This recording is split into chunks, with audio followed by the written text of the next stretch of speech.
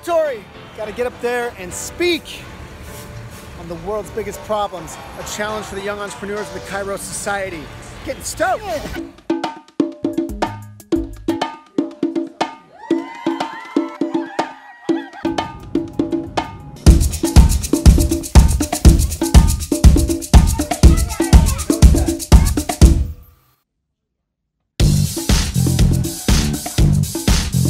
World Observatory. I get the chance to go speak on the 100th floor. Bags in tow, straight to a flight after this. Get to talk about the world's biggest market gap, something unaddressed by governments, by society, by business, something that young entrepreneurs of the Kairos Society can attack. My topic of choice, planned obsolescence. The very phone I'm filming this on will be garbage in like a year because Apple wants it to be garbage so you'll buy a new one. It's terrible. All of the aluminum and gold and precious metals and everything else that's inside this thing get thrown in the landfill. It drives me nuts and it's time to change that. That's why we espouse the design for life philosophy that Sactionals are built around. Not only is it built to last a lifetime, but it can be designed to evolve so that you'll never grow tired of it. That couch will never end up on your curb. We estimate that for every Sactionals we sell, we prevent four couches from ending up in a landfill because Sactionals can literally be with you the rest of your life. My challenge to entrepreneurs is to fight planned obsolescence through their own tactics or design philosophies because as much as I'm just a couch guy, there are people smarter than me in other industries that can make a huge difference in this world. Look at that Oculus. All right, I've heard this experience is pretty cool. Let's find out.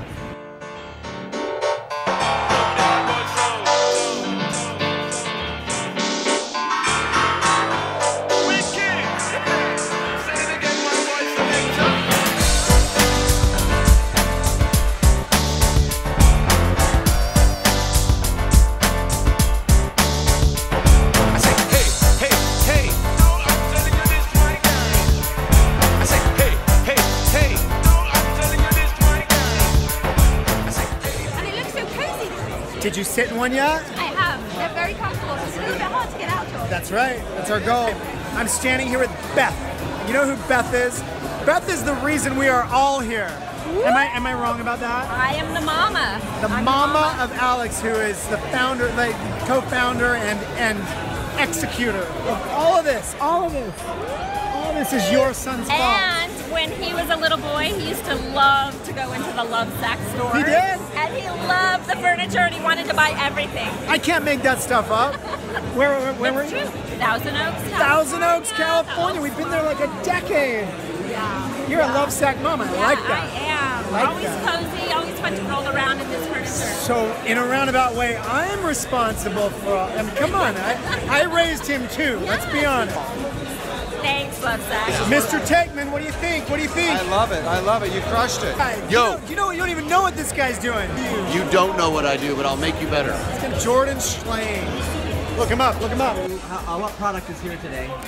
Uh, we've got Sack. We've got City Sacks wearing elk fur covers. We've got Sactionals uh, in the five series all throughout the building. And the best part is the Lovesac team was literally had like 29 minutes to get it all set up. Like I'm talking the entire 102nd floor of the World Trade Center um, set up in like 29 minutes flat. Sactionals up the elevator, sacks flat, and the shoes were. It was a total train wreck, and they still made it happen and brought the event off. It's been a hit.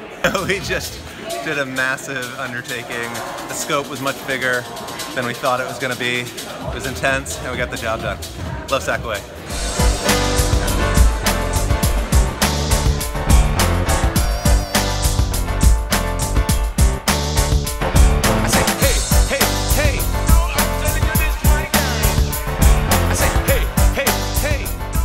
Joke, actually changing the world. A lot of organizations say they're going to do it, say they're going to do big things.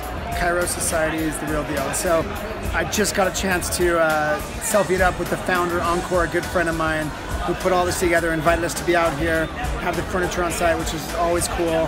Hanging out with princesses, with celebrities, with Hollywood people, with some of the most powerful marketing minds and billionaires on the planet probably the most well attended, crazy guest list I've ever been to any event of any kind.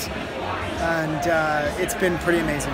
And we're out, and I'm literally running. I'm not sure I'm gonna make this flight. I hate missing flights, it screws everything up. But I gotta get to Utah, I got some serious stuff to handle. Thanks, man. Oh, this Uber driver's awesome. He called me, helped me uh, find him. It's not easy in New York, man. It can be crazy connecting with an Uber out here. Uber was gonna take 90 minutes in this traffic to make it to JFK. So now we're gonna run to the subway. Oh yeah, perfect. Only got bags and a half hour to get to the airport on a train that's gonna take me an hour with 80 stops through Queens. And I'm in lower Manhattan. Not gonna make it.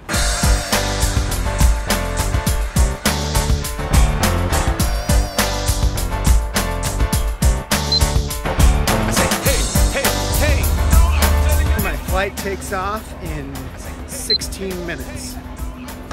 Not gonna make this hey. Made it.